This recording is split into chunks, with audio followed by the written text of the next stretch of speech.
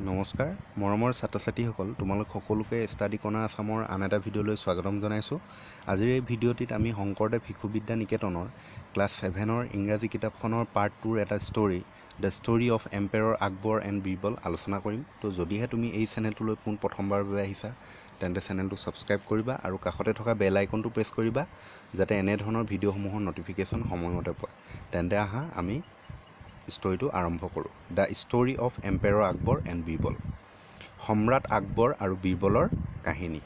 Emperor Akbar challenged Birbal saying that no' one could stand in ice cold water for one whole night সম্ৰাট আকবৰে বীৰবলক প্ৰত্যাহ্বান জনাই কৈছিলে যে কোনো মানুহেই বৰফৰ পানীত গোটেই ৰাতি থিয় হৈ থাকিব নোৱাৰে।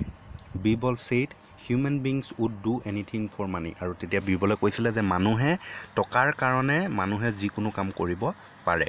The emperor's men announce that a thousand pieces of gold would be given to any one who stood waist deep in ice cold water in the tank in his palace garden আৰু এম্পৰত যিসকল কাম কৰা মানুহ আছিলে সেই কেম কাম কৰা মানুহসকল মানুহবোৰে এটা কথা এনাউন্স কৰি ক'লে যে a thousand pieces of gold would be given to any one যে যিজন ব্যক্তিয়ে কঁকালৰলৈকে ডুব গৈ লৈ পিনি বৰফৰ পানীত ৰাজপ্ৰসাদৰ গাৰ্ডেনত যিটো টেংক আছে সেই টেংকটোত যদি থিয় হৈ থাকিব পাৰে এটা ৰাতি তেখেতক তেন্তে one thousand pieces of gold এক হাজাৰ সোণৰ মুদ্ৰা দিয়া হ'ব বুলি ক'লে। তো কি বুলি ক'লে যে কোনো ব্যক্তিয়ে যদি ৰাজপ্ৰসাদৰ টেংকটোত বৰফৰ পানীত যদি কঁকাললৈকে ডুব গৈ পিনি যদি এক ৰাতি থিয় হৈ থাকিব পাৰে তেন্তে তেখেতক ৰজাই এক হাজাৰ সোণৰ মুদ্ৰা দিব বুলি তেনেকৈ এনাউন্স কৰি ক'লে এই young man came forward to do the impossible for money আৰু তেতিয়া এজন ডেকা মানুহ এজন এজন যুৱক আগবাঢ়ি আহিলে সেই অসম্ভৱ কামটো টকাৰ বাবে কৰিবলৈ। He stood in ice cold water for the whole night আৰু সি সেই আইচ কল্ড সেই বৰফৰ পানী ইমান ঠাণ্ডা পানীখিনিত সি গোটেই ৰাতি থিয় হৈ থাকিলে। The next morning the king came to the palace garden and he was surprised to see the young man standing in cold water আৰু পিছদিনা ৰাতিপুৱা ৰজাই সেই ৰাজপ্ৰসাদৰ গাৰ্ডেনত আহি লৈ পিনি দেখি লৈ পিনি আচৰিত হ'ল সেই মানুহজনক দেখি লৈ পিনি যিজন মানুহ সেই ক'ল্ড ৱাটাৰ ইমান ঠাণ্ডা পানীখিনিত গোটেই ৰাতি থিয় হৈ আছিল। How did you stand waist deep in such cold water the emperor আক্স the young man আৰু ৰজাই সম্ৰাট সম্ৰাটে তাক মানুহজনক সুধিলে যে তুমি এই ইমান ঠাণ্ডা পানীখিনিত কেনেকৈ কঁকাললৈকে ডুব গৈ লৈ পিনি গোটেই ৰাতিটো থাকিলা? তেনেকৈ বুলি ক'লে। Your majesty I was looking at the small light coming from one of the palace rooms তাৰপিছত সেই ল'ৰাজনে ক'লে যে মহাশয় আপোনাৰ ৰাজপ্ৰসাদৰ এটা কোঠালিৰ ফুটাইদি অহা পোহৰ এটাকে চাই চাই মই গোটেই ৰাতিটো পাৰ কৰিলোঁ তেনেকৈ বুলি ক'লে।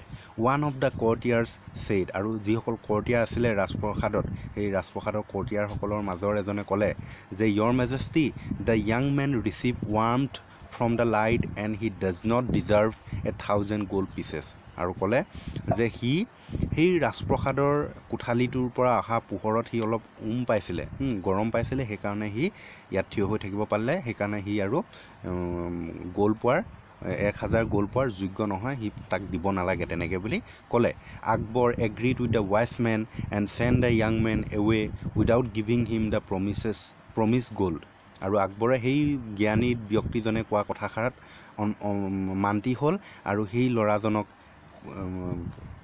সেই ল'ৰাজনক young men away without giving him the promised gold পঠিয়াই দিলে। সেই প্ৰমিছ গ'ল্ড যি প্ৰমিছ কৰিছিলে গ'ল্ড দিম বুলি সেই গ'ল্ড নিদিয়াকৈ তেখেতক পঠিয়াই দিলে। বীৰবল ৱাজ ভেৰি আনহেপী আৰু সেইকাৰণে বীৰবল বৰ দুখী হ'ল। এতিয়া কুৱেশ্যনকেইটা আছে এটো আছে what was the bet between Akbar and Birbal? বীৰব Akbar আৰু বীৰবলৰ মাজত যি বেট হৈছিলে সেই বেটটো কি আছিলে সুধিছে। তাৰপিছত নেক্সট প্ৰশ্নটো হৈছে হোৱাট ডিড বীৰবল চে বীৰবলে কি কৈছিলে? নেক্সট কুৱেশ্যনটো হোৱাট ডিড আকবৰ আক্স দ্য য়াং মেন আকবৰে ডেকা ল'ৰাজনক কি সুধিছিলে? নেক্সট কুৱেশ্যন আছে what did the young man say ডেকা ল'ৰাজনে কি বুলি কৈছিলে? নেক্সট কুৱেশ্যন আছে what did one of the courtiers say এজন কৰ্টিয়াৰে কি বুলি কৈছিলে?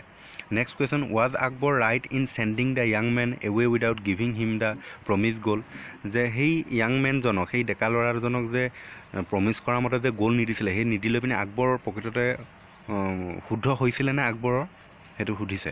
তাৰপিছত নেক্সট আছে হোৱাই ৱাজ বিবল ছেট বিবল কিয় দুখী হৈছিলে? আমি এই প্ৰশ্ন উত্তৰখিনি নেক্সট ভিডিঅ'ত চাম। তো যদিহে ভিডিঅ'টো ভাল লাগিলে এটা লাইক কৰিবা আৰু বন্ধুবৰ্গলৈ শ্বেয়াৰ কৰিবলৈ নাপাহৰিবা।